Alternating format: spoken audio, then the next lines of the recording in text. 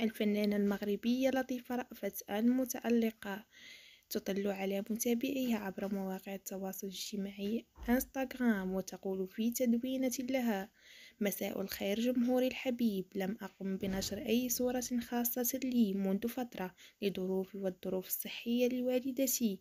اليوم حبيت نشارككم هذه الصور ومن خلالها حبيت نطمئنكم على صحتي. الحمد لله رب العالمين أنني بخير.